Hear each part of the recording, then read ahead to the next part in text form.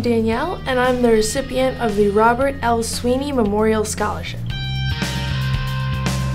It's gone so fast. Thankfully, all my classes are very interesting. Um, sadly, they're all coming to an end. Um, I was actually lucky enough to also be able to, with my difficult course schedule, also get a job for after graduation. So I've been lucky on both ends this semester.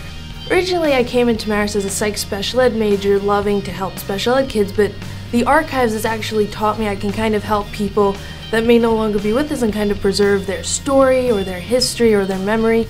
So I'll be working at the Hudson Archival in Kingston and I'll be working on different projects in that archives. This semester I'm working with campus ministry. I picked um, something to do off the giving tree. Um, the one I picked was um, dishes and I it was kind of shocked that you know some family wanted dishes for Christmas where I went home for Thanksgiving and you know you name it and I had a dish for it. So I um I picked up some dishes for a family. The Robert L. Sweeney Memorial Scholarship has greatly impacted my life because it allowed me um, to come to Marist.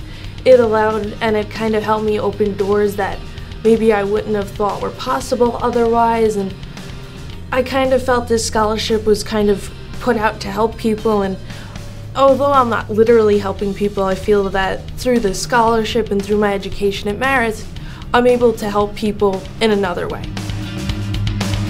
Mrs. Sweeney, thank you so much for generously donating to the scholarship as it, hel it helped me and I bet you many people after me that will find their passion and hopefully help another sector of the community that maybe I didn't find and kind of help make an overall positive change in the world.